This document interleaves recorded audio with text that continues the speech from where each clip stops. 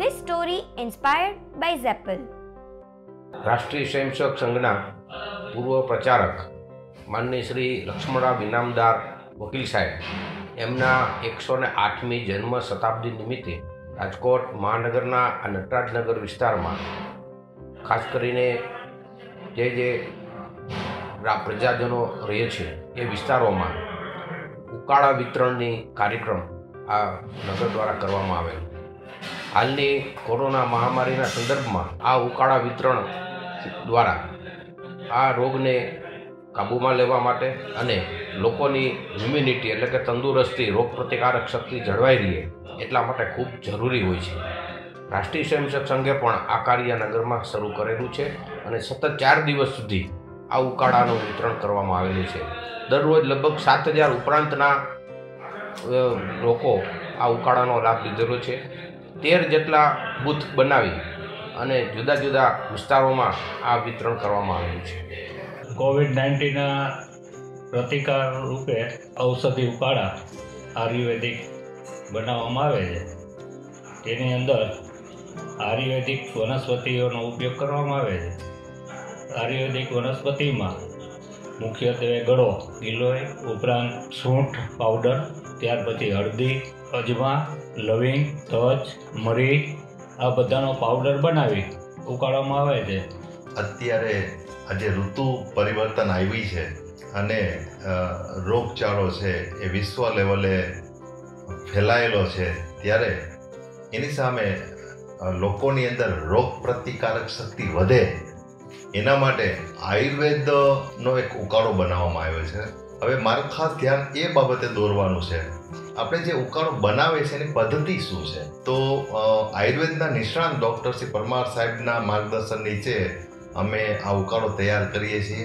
અમે જે પાણી લઈએ છીએ, એનું લગભગ ચાલીસ ટકાથી પચાસ ટકા સુધી ઉકાળાની ઔષધિ નાખ્યા પછી એ પાણીને બાળી નાખવામાં આવે છે.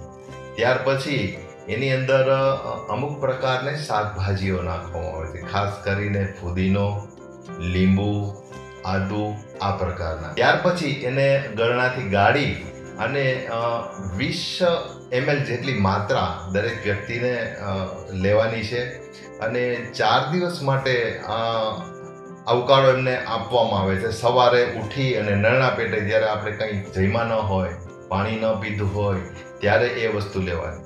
આયુર્વેદિક ઉકાળો લીધા પછી પણ આપણે એકાદ કલાક કંઈ ખોરાક ન લેવો જોઈએ. તો એ જે ઉકાળો છે એ આપણને ખૂબ જ કામ કરશે.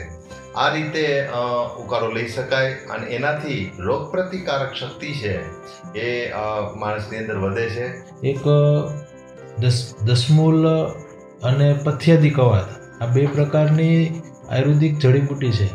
એ લઈ અને એની સાથે તજ, લવિંગ, હળદર ગળો, તુલસી સૂંઠ સિંધાલો અને જરૂર પડે તો ગોળ સ્વાદ માટે નાખી શકાય. અને આ ઉકાળો બનાવી અને રોજે લઈ શકાય. આપણે રાજકોટમાં અત્યારે જે કંઈ આયુર્વેદિક હોસ્પિટલ છે, ત્યાં આ ઉકાળાની પડીકી ફ્રીમાં મળે છે.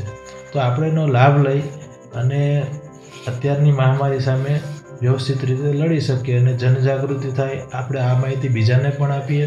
ડૉક્ટર હેડગેવર જન્મ શતાબ્દી સેવા સમિતિ અંતર્ગત રાજકોટ મહાનગરમાં ઉકાળા વિતરણ કેન્દ્ર શરૂ કરેલ છે. અલગ અલગ પ્રકારના વિસ્તાર છો, સંઘના જે કંઈ નગર પાડેલા છે મારા વિસ્તાર. તો અલગ અલગ પ્રકારે આખા મહાનગરમાં આ ઉકાળા બનાવી અને વિતરણ થાય છે. એ ઉદ્દેશ્યથી આ આયુર્વેદિક ઉકાળો આપણા ડૉક્ટર જયેશભાઈ પરમાર આયુર્વેદિક હોસ્પિટલના ડી હેડ ઓફ ડિપાર્ટમેન્ટ છે. એમના માર્ગદર્શન હેઠળ એમની સૂચનાથી અને બાકીની આપણી ટીમ જે કંઈ અનુભવી ટીમ છે, કે ઘણા બધા જાણકાર પણ ટીમ છે, એમના માધ્યમથી આ ઉકાળો બનાવવામાં આવેલ છે. મહાનગરના આ ઉકાળા વિતરણના કાર્યક્રમ અંતર્ગત નટરાજ વિસ્તારમાં આજે ત્રણે ત્રણ નગરમાં ઉકાળા વિતરણ ચાલુ છે. જે સંદર્ભમાં નટરાજ નગરની વાત કરીએ તો એ જે જાગરણ ટોળી બની છે એ જાગરણ તોડી તેમજ દરેક શાખાની સક્રિયતા, સ્વયંસેવકની ચિંતા અને વકીલ સાહેબની જન્મજયંતિ નિમિત્ત આ બધા સંયોગો ભેગા કરીને આ કાર્યક્રમ એકદમ સરસ રહ્યો. આ ઉકાળો બનાવવાનો એક ખાસ હેતુ એ છે કે સોસાયટી અંદર થોડા લોકો ભેગા થઈ અને આ ઉકાળો બનાવી અને તમે ઘરે પણ બનાવી શકો અને વિતરણ કરી શકો. એના માટે આ એક અમારો નમ્ર પ્રયાસ છે. નમસ્કાર.